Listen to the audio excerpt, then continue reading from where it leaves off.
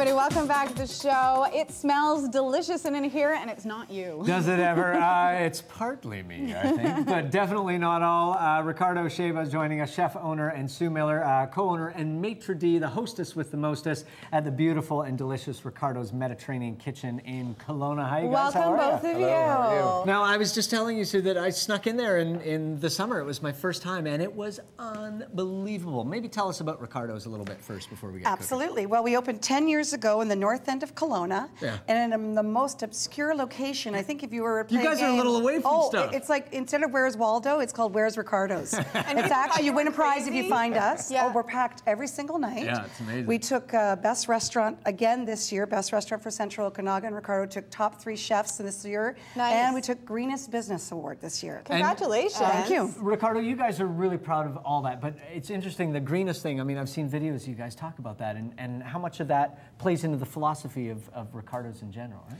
Well, uh, pretty much. I mean, it's, it's important that you sort of uh, are, are doing this today. And Yeah. like, everyone's sort of getting on board, and we're, we're uh, lucky to be sort of one of the pioneers in the Okanagan for Very starting. cool. And making delicious Yeah. food. No. Uh, we're going to be making the prawns today. Sure. Uh, tell us about this recipe. Well, these are Pernod prawns. They're a big hit at the restaurant, one of our best sellers.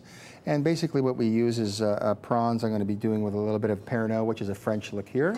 Are we going to set them on Um, fire? We're, we're going to try. Yes, if I have the, if I get a, enough heat with this little stove here, they'll set on All right, fire. well, let's Fiona's fire got it lots up. of hairspray in today, Absolutely. too, so this could go exceedingly And well. your I fam- need hazmat suits. Just stand back a bit. Awesome. Now, Sure. your family is Italian, of course, and Yes. it's all about the sauce and the meatballs. Tell us about uh, what smells so amazing over here. The mother sauce. Well, I made I made some meatballs for you guys to taste today. The, the process is a little long, so I didn't want to I Yeah. didn't want to do it here for the show. But I wanted you to taste them because they are absolutely. Mike, have you absolutely. had one yet? No, you had one in They your are to die for. That is the definition of that's amore right there. Right there. Oh my God. Look at, he just died. We wanted to open a restaurant and actually just call it polpetta.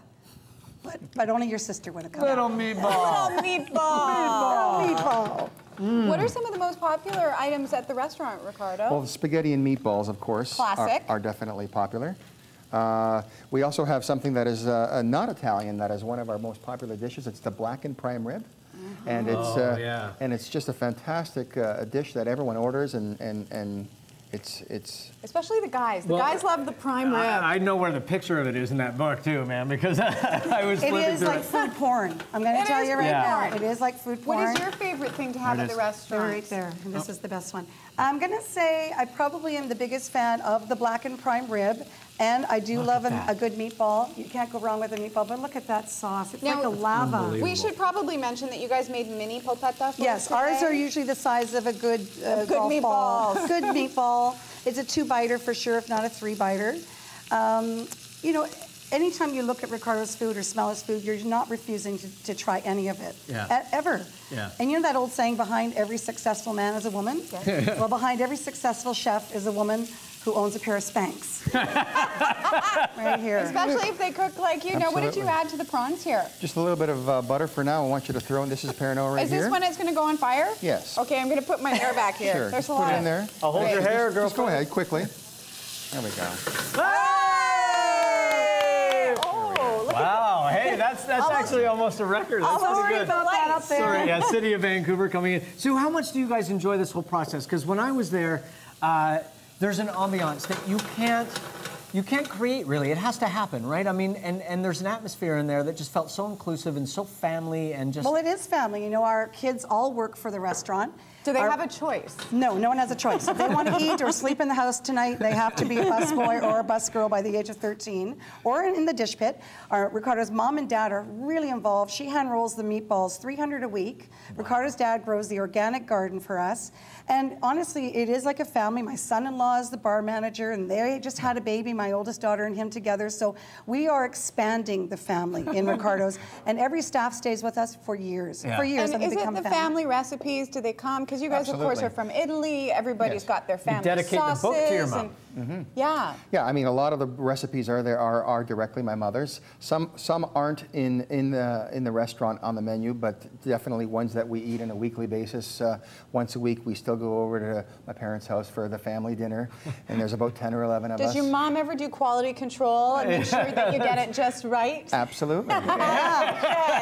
Okay, what if we added to the prawns We here? just after after uh, after you put it in the Perinoa, just a little bit of flavoring with chili peppers, salt and pepper, and parsley, Oh, sounds and a little bit of heavy cream to, to reduce, and they're pretty much ready. They're pretty much good to Uh, go. you bet. Quick and easy. So you guys, I mean, you have the great fortune of, of being in an area that's so seeped in, in the culture of wine and food and mm-hmm. all Are that we kind of ever? stuff. How much inspiration do you take from just where you live and where you guys Well, and that's the reason we moved. I'm a Vancouver girl, born and raised. So when we decided to go and open our first restaurant, on our way we went to the Okanagan, surrounded by lakes, wineries, orchards, and, and, And honestly, meatballs. and meatballs.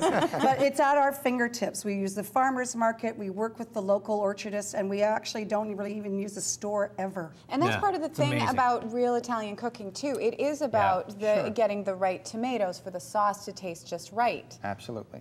Very Absolutely. cool. Well, if you Very want nice. uh, some great recipes, guess what? Ricardo and Sue will be at Black Bond Books Mm. in Semiahmoo Mall in White Rock signing for you from noon to 1.30 on Tuesday, November the 15th. And the cookbook is available at your local bookstore. Of course, you can go to their website to find out more information.